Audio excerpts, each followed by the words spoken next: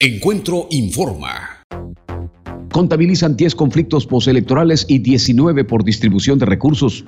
Ni la Secretaría General de Gobierno ni las autoridades electorales han sido capaces de zanjar las pugnas entre los pueblos San Sebastián del Río Hondo, San Dionisio Ocotepec, San Baltasar Vía, Santiago Matatlán y San Lucas Ojitlán, algunos de los ayuntamientos involucrados. Exige iniciativa privada mantener cerco contra ambulantes. Comerciantes establecidos en el centro histórico demandaron a los gobiernos estatal y municipal intensificar los operativos que mantiene la policía en los alrededores del primer cuadro de la ciudad y evitar con ello que vendedores ambulantes se adueñen nuevamente del Zócalo, la Alameda de León y calles aledañas.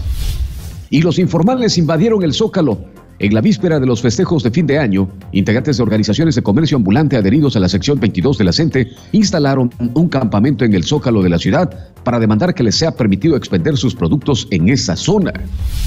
Rechazan que alumnos tomen clases en lugares rentados.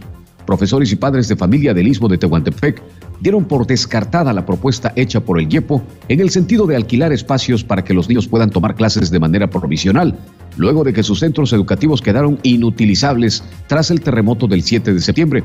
Los tutores argumentan que 90% de las casas de la región no están en condiciones de ser habitadas.